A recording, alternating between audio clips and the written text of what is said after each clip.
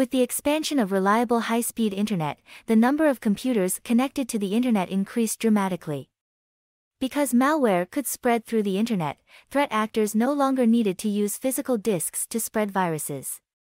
To better understand attacks in the digital age, we'll discuss two notable attacks that relied on the internet, the love letter attack and the Equifax breach. In the year 2000, Onel de Guzman created the love letter malware to steal internet login credentials. This attack spread rapidly and took advantage of people who had not developed a healthy suspicion for unsolicited emails. Users received an email with the subject line, I love you. Each email contained an attachment labeled, Love Letter for You. When the attachment was opened, the malware scanned a user's address book. Then, it automatically sent itself to each person on the list and installed a program to collect user information and passwords.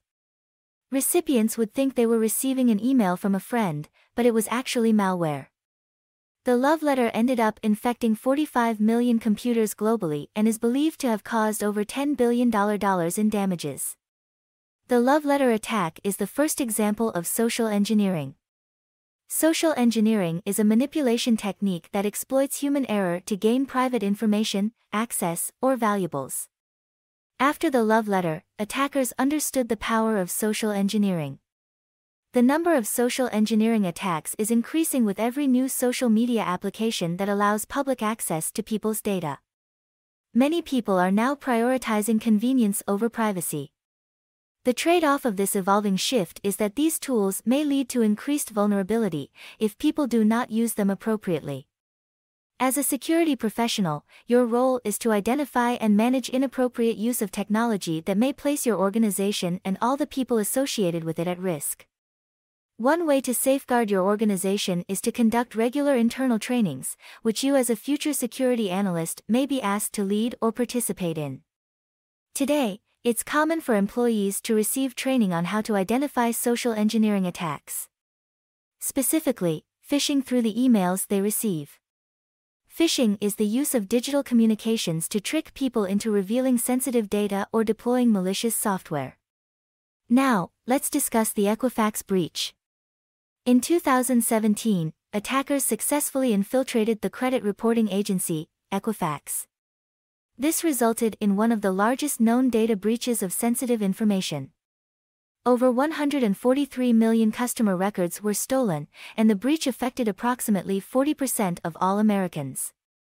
The records included personally identifiable information including social security numbers, birth dates, driver's license numbers, home addresses, and credit card numbers.